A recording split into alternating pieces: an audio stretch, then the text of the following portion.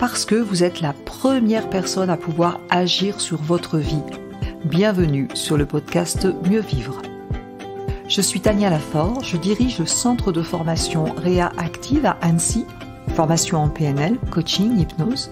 Le podcast Mieux Vivre, eh bien c'est chaque semaine une thématique précise pour mieux vous comprendre, comprendre les mécanismes de votre cerveau en toute simplicité chaque semaine, découvrir un outil concret par épisode et en quelques minutes.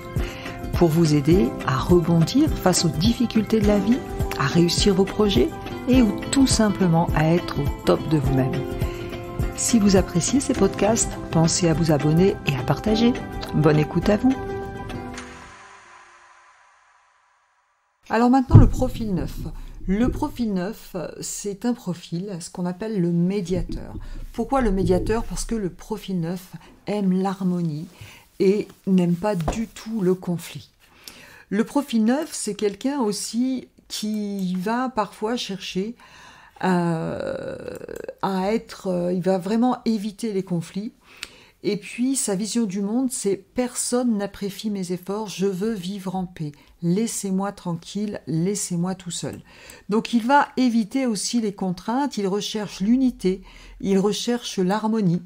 C'est quelqu'un qui va être modeste, qui va être pacifique, qui va avoir l'air satisfait, qui recherche vraiment la paix intérieure. C'est quelqu'un qui a vraiment peur d'être en conflit, peur des divisions. Ça, c'est vraiment une grande peur. C'est du coup quelqu'un qui peut fuir aussi devant les contraintes et les conflits. Il désire être. Il, est, c'est quelqu'un qui est plutôt passif euh, dans sa vie avec le risque, la peur de l'harmonie et il évite vraiment, comme je vous le disais, le conflit.